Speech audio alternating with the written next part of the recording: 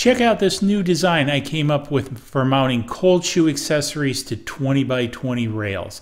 Let's jump into it and I'll share it with you.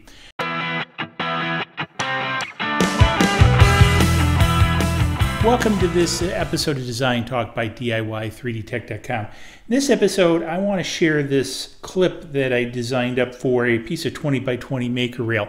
So I use this maker rail to create my overhead rigs like I'm filming this on.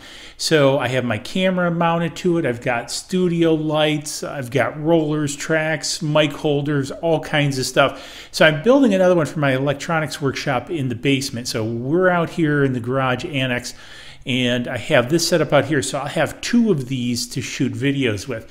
And with this, I want to use my Boya mic on the one in the basement, and it has a cold shoe on it, and I need to be able to mount it to this 20 by 20. And I really thought, hey, it'd be cool if I came up with a way to mount a cold shoe to a 20 by 20 rail. So I whipped this up in, in Fusion 360, and it seems to work great. You know, kind of long story short, what you do is simply slide your mic or whatever cold shoe accessory and you simply tighten it down.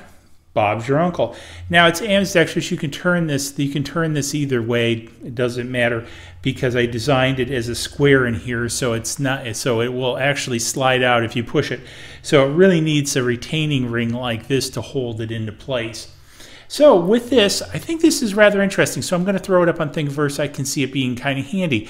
Eventually, when I get time, maybe I'll do a series on or, or video on this whole rig. It's pretty impressive, actually, and it's actually pretty large.